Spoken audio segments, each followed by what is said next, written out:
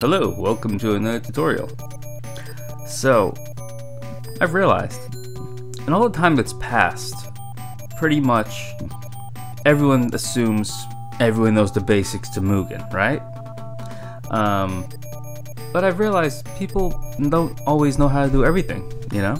Even the simplest things, like adding characters to a select screen, or, you know, uh, changing a stage or adding stages. So, I think in some form, because of Ikemen Go, I'm gonna go back to the basics in a sense on how to do certain things within Ikemen Go. I don't know how much more Mugen tutorials I'll be making. I'm pretty much gonna move over to Ikemen Go. It's just better that way overall. Because I, I, feel that's the way of the future, honestly. Unless, you know, Elecbyte comes back and things change. Now, um, someone asked um, that how do I add a character to the select screen? And I realized, you know what, Ikemen Go, there's so many features on how to do that. So we're going to go over a couple of them. There's a lot more I didn't test, um, and it, it took me like an hour to get all these working the proper way. So give me credit for that. Also, for what it's worth, I don't script these videos at all. I do them all ad lib. I just go live and record and figure it as I go. That's why they take so long. so, uh, we're gonna use Ikemen Go. I have Kung Fu Man, the one that comes with the engine, Master of Arts, which is a Kung Fu Man uh, uh, version I did, and uh, Marvel's of Capcom Guyver. Um, so, go to data folder, and you go to select.def. This is how you add a character to your game. Now, it gives you all this information here on how to add them and everything, and the correct order in which, which to add things. Uh, Ikemen features in particular are Music Alt, Music Life. Uh, so Music Alt will be like, I guess, second round. As it notes here, it should be used after the first round. Music Life is used in the second round when less than 30% life. Music Victory is played right after the character scores the final KO. AI, if you want to be an AI only character, or actually no, AI forces the AI. So basically, think of it as SNK syndrome, except on demand. You can control when to have it with whichever character. Uh, you can enable disable the versus screen. You can enable disable the victory screen. You can enable disable rank display. You can set the number of rounds. If you want a character to have one round, such as a bonus stage, you can do that. If you want a round to have 30 seconds instead of 99 seconds, you can do that. If you want there to be a 2 on 1 match, like a scripted 2 on 1 match, where if you're playing simultaneous or uh, turns or tag, your opponent's always going to be 1. Uh, you could tell it to include a stage in the uh, the stage uh, selector. So say you want to fight Ryu on Ryu stage, but you don't want to select Ryu stage when you're playing other modes, you'd use this. Boss will tell the game engine out of all the characters you have, this is one of the boss characters you want to use for boss rush mode. And then you have bonus character, which eh, you know it's part of a bonus game thing, which I haven't properly seen this one. Maybe I didn't see it. I, I probably didn't look. Exclude means uh, they're not going to be on the select screen. And it also says excluded characters are not added to random select pool and won't show up. So these characters just won't show up at all. I guess they're selectable to some degree, but they're not uh, selectable by other means. Hidden is if you want to have a character hidden until you, say, clear arcade mode for the first time, such as secret characters.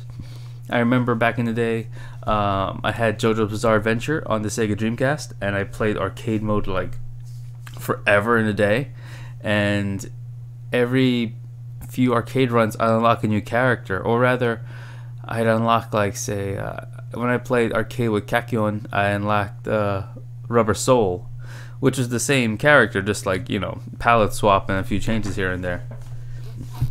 Uh, survival order, or order survival controls that. Arcade path, I don't know how arcade path works. I'm not familiar with Lua files, L-U-A, Lua files. Um, so that may be something I have to learn. Or I'm just lazy. I can't figure it out. Ratio path. Um, also, I don't know it either. Slot is something I went over in the, in the previous video, but I'll go over it again here. Unlock, you have to use unlock with the hidden um, uh, parameter. Otherwise it won't properly work. You need to have both. Has a few examples here, but these are my examples down here. So by default, so before I actually go off and explain what everything is, uh, everything has an order. If you don't put an order, it's automatically order equals one. And order equals one means you're gonna he the lowest of the the bottom of the pole of enemies you fight. So by putting order equals zero, you're never gonna fight this character. So none of these characters I'll fight in arcade mode. Not even him, not even him. I should be fighting Master of Arts only. Right here. This looks like gibberish, but I'll explain everything. Now scrolling down, we go to options, minus all of this writing and stuff. Say I just remove this like this. Anything semicolon out, you can delete. It's all comments. Okay, so there, arcade matches. So these mean I'll have one order equals one match, one order equals two match, one order equals three match, four, five, six, seven, eight. If someone is order equal 9, I'm never going to fight them in the arcade mode.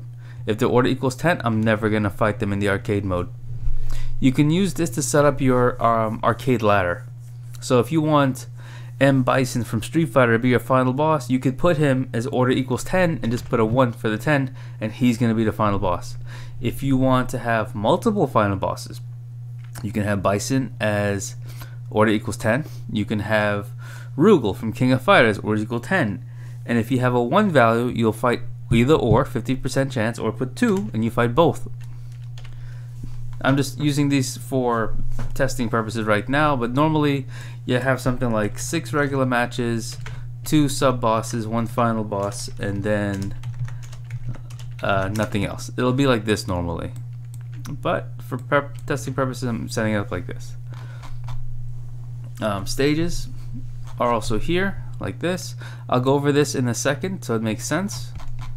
But for now, we're going back to this. So, to add a character, you just put the character's folder, the folder name, sorry, the character's uh, folder name has to be here. And usually the character's def file matches the folder name in spelling. I could easily just put this, it'll work fine. So going back here, looking in Master of Arts, see Master Space of Space Arts. Open it up.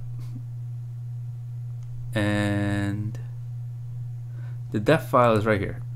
Master Space of Space Arts. Everything else doesn't matter because the def file is what's going to reconnect everything here. As long as the folder and the def file have the same name, this is all you need to add them to the game. Now, if you wanted to have them in the game and have them on a certain stage, you put uh, Kung Fu Man. Usually, order. I don't put order here normally. The order goes at the end, but you could put them anywhere. Uh, it'll be Kung Fu Man stages slash Kung Fu Man def the stage for him, the temple. Order equals one. You could put that as of Ikemen, if you don't put order equals one, it's defaulted to one. I think Mugen does that too, honestly. Um, the next thing you can do is versus screen on or off, as I said before. Victory screen on or off. These are defaults. So one means yes, zero means no. Will it show victory screen? Yes. Will it show versus screen? Yes. Will it show rank display? Yes. How many rounds? Two rounds. How many time? What's the time? 99 seconds. Is it a single round or or uh, no? Am I fighting singly or am I fighting two on you know two on two, two on one? You're fighting single. Is this character hidden? No, this character is not hidden. And you could pause here and you could read my little notes. this should help make you understand it better. Um, I spaced this out. Any space you have in a select file like this, it doesn't mean anything. Mugen skips over it and it just continues to the next line. It, so you can do spaces like this for sake of clarification, which is what I'm doing here. And this is a perfect example. Um, I do not know Lua coding, as I said before. I copy this from the GitHub. So Guyver is orders equals zero. I'm not fighting him. He is a hidden character that can be unlocked when arcade mode is cleared more than one uh, one time or more.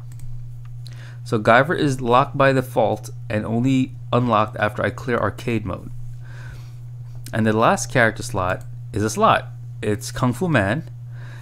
And the second slot is Master of Arts. I have to press the D or W key to switch between them. Uh, my D and W key are set on my keyboard as Q and W. That's just how I set it for my purposes.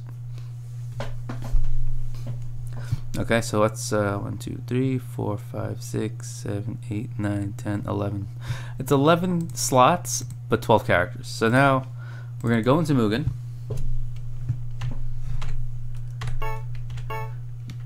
and those are the characters. This blank spot here, this is Guyver. Uh, we cannot get to him. And this spot is the slot, which when I press the buttons, will slot. So now, let's test out the stuff. Um, so Master of Arts order equal 1, right? Now we're going to test out with versus screen equals 0 it's going to skip the versus screen, jump straight into the match with Master of Arts, and then, you know, we're going to kill him, and we're going to unlock Guyver. So, that didn't work. I probably have a comma somewhere, I didn't see it. That's usually what happens. And I find it interesting, sometimes having order equals 1 kind of can, can screw it up.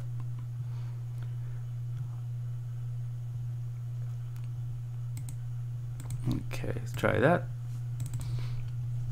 Hopefully it works. I was playing with this for an hour and it kept giving me issues here and there. Yeah, I think after this it should be fine. Let's see. Keep killing him with the F1 button, by the way. Yeah, no. So arcade mode's cleared once, as you can see. And when I go back, Guyver selectable.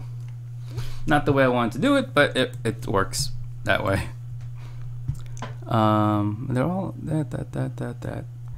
Yeah, this whole thing was giving me issues earlier. I did get it to work though, and uh, I think if I if I take it out of here and just have it as a, another character, this should work.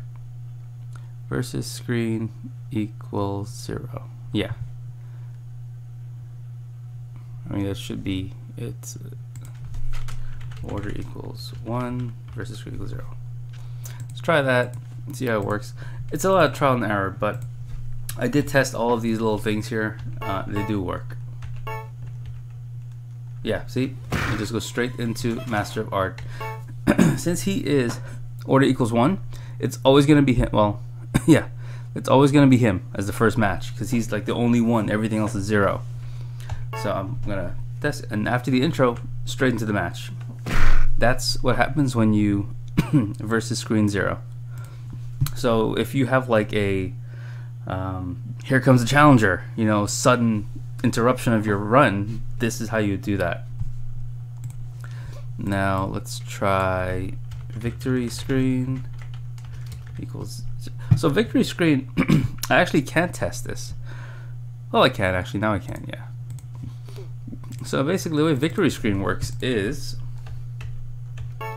if I'm using the character, I will not have a victory screen. If I beat the character, a victory screen will show.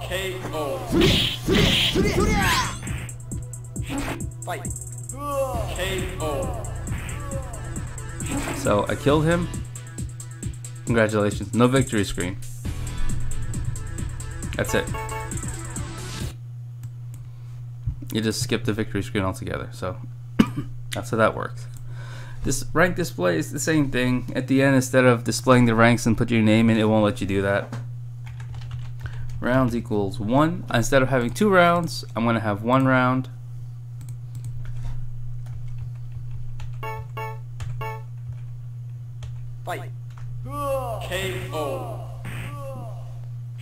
That's one round. Round Oh, two, rounds.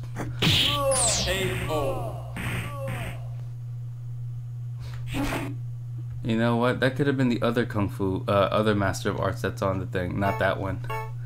Fight. Let's see it again. KO. Yeah, this is the other one. Okay, that's just kung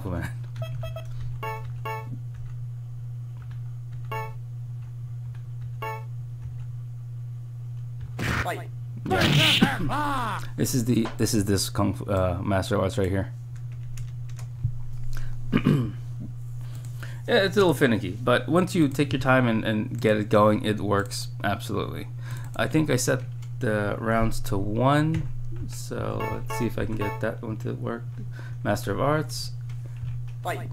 killed him. KO. Round two. Ah, Fight. huh. Oh, this is the other Master of Arts, that's why. There's two. It's a, you know, you put two, you get two. Fight. KO. Fight. Nope, two rounds. okay, it's not working right now, but it does work. It, uh, it's having issues with this Master of Arts and this Master of Arts. It's a little confused because I don't have a proper roster, but it does work. I've tested it. Uh, time equals 99. Let's try that. Time equals 99. Redundant it is, but I will put this for both of them. this way, no matter which one I get, it's going to work.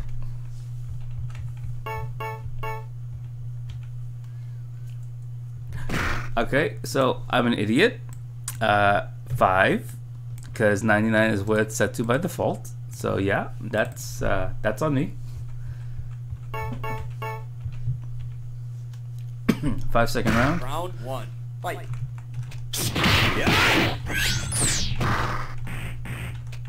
Time. I beat him. Round two. Fight. so that works. um, single, I'm not gonna do. And hidden, you already saw how hidden works with uh, Gy- Guyver. Can you combine them? Yes, you can. You would just put order equals whatever, uh, time equals whatever, and then you put comma uh, versus versus screen equals zero, uh, comma rounds equals one. You just comma and add them per parameters onto each other like that.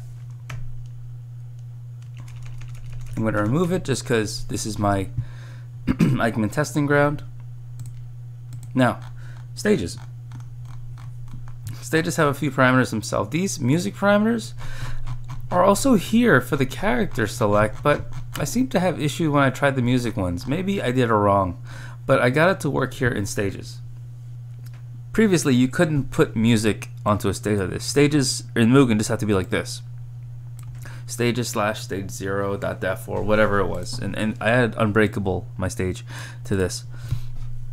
Um, to get this to work, you have to remove the line, or if you remove or comment out either one, in the music section of the stage, you have to remove this line that says BG music equals sound, whatever.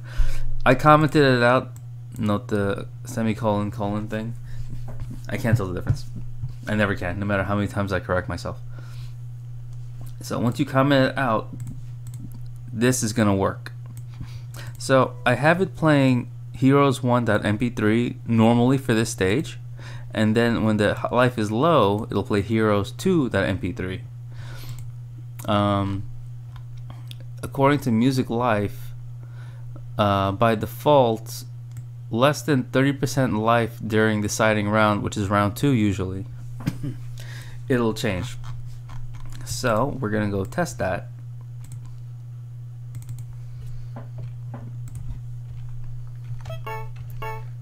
Verses quickly. The Mountainside Temple. You'll hear the music. Round one. Fight.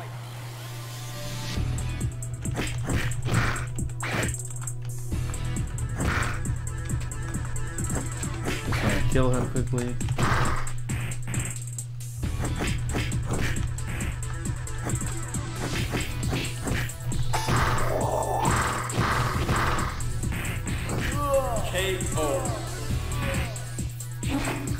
We still got the regular Heroes 1 music. As I get his life to 30% low, music will change. I'm not gonna say anything so you can hear it.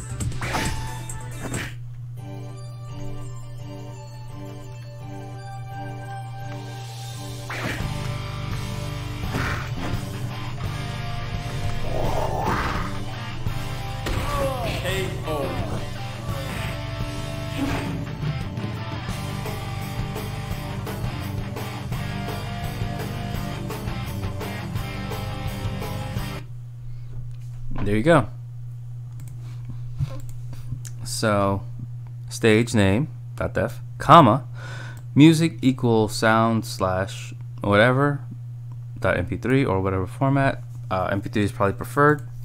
Comma music life. That's if you want to use that. Music alt I haven't tried using, but that, that's like round two music basically. Music victory is what shows in the victory screen when you KO somebody, and what goes to the victory screen. Um, apparently you can use orders to do the thing as the stages as well which i didn't try that. And unlock works the same way. If you go to this github link which is in everyone's Ikemen go file it'll give you uh, tell you other ways to do uh, use unlock. I, I haven't looked into it. I don't really know. So that's how you do your stages. Now another thing i'm gonna you know solve while we're here is stage uh, icon picture things here. When you add your stage the first time, you get nothing. Unbreakable has no image. What's it gonna show? Nothing. I don't know why this is random. It's such a weird looking house temple thing. But yeah, so we need to add an image like this to the stages SFF file to make it work. Now, this is kind of widescreen, so I'm gonna change Mugen to widescreen to make it fit accordingly. Um, for what it's worth, you if you're making a screen pack, you have complete control over the size of that and how you want it and everything. You know, if you're adding a screen pack, you, same thing. You just have full control over it. I'm gonna go to practice. Doesn't matter who I pick. Going to Unbreakable. Fight. Oh, you know, it's actually really bad. the stage is made a long time ago for a, a square resolution, so let me use a square resolution. I thought that was going to be a good idea. It was not. Alright, so practice. Okay. Now, I'm going to press Control Alt 1, disables player 1. Control Alt 2, disables player 2. Control L, disables life bars. If you're on the desktop, on your keyboard on the top right, there is a print screen button. It's one of the top three buttons next to scroll lock and pause break. When you press it, it'll take a snapshot of the game. I'm waiting for uh, Joe Musashi to pass by. I took a picture of that. I'm going to use this image for my uh, select screen portrait for the stage. If you're on the laptop, I don't remember the exact button pressing, but you have an FN key for function. So you'd press the function key, and then I think you'd press. Actually, wait. Is it F12? I think Ikemen takes screenshots with F12. Yeah. okay. Not even the screen uh, screen break button. So backtrack, scratch that. get the image you want to get. In this case, this, and I'll press F12 when Joe passes by again. If if Joe passes by again, Joe. Oh, I think he's dead. Anyways, F12. It saves a screenshot of the game in the Ikemen folder. Right here. These are the screenshots. I saved a couple because I pressed it a couple times. On the laptop, you hold the FN key, you press F12. So now, using a free graphics program called uh, LazPaint Portable. It's a full download also, but I'm using the portable version so I can use it anywhere I want to. I'm going to open the image in the application, drag and drop or file and open either or, and here I have the image. Now, I don't know what the actual image is for those small portraits, so I'm going to open Kung Fu Man's file and I'm going to see, oh, here it is. Group 9000, index 1, kind of like a big portrait. Axis at 0, 0, and it is 240 by 100 pixels. So 240 by 100. So now, if I, you know, took my time, I could do it better, but I'm just going to modify this quickly. Um, resample it. This application is called Resample. Uh, 240, 100. And hit OK. And there's the image. I'm going to save it. Uh, 24-bit. We're working in the future now. We don't have to use 256 color anymore. 24-bit. We go to Unbreakable. We're going to add the image. Um, let's see. There we go group 9000, index 1, align to 0, 0, do not crop. There we go. Now, if you try to save this, you might get an error. I, I already did it before, of course. You go to sprites, you go to save as, and then you make sure you save as Mugen 1.1. Saving as this will allow you to use all these benefits of the, the new uh, graphics and colors and everything. And, you know, match it up to your SFF file, good to go. Now when you load up Mugen,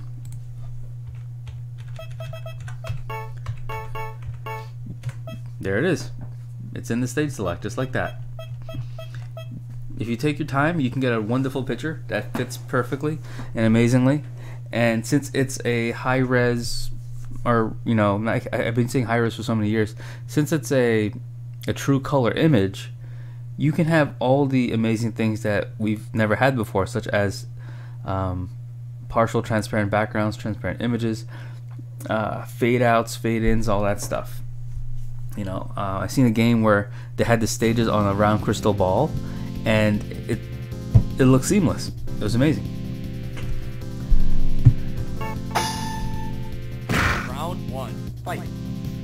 Okay, I like this stage. This is a nice stage. Came to me in a dream actually, minus the Joe Musashi surfing around. Um, yeah, so that's that. So I went over how to do characters. I went over how to add stages. I showed a little music trick, which is fun. I showed you how to add a stage picture to the select screen, which is going to be great. Everyone's going to love that. Um, I showed the hidden, char uh, hidden character. Uh, the multiple character I did another video, but you can just follow the same template here to make it work. Um, these things down here, I never really mess with them. Particularly, I don't, uh, I don't know them all that well. These are kind of new. But if you wanted to make your select file look nice and neat, pretty much everything below the character bracket you can delete.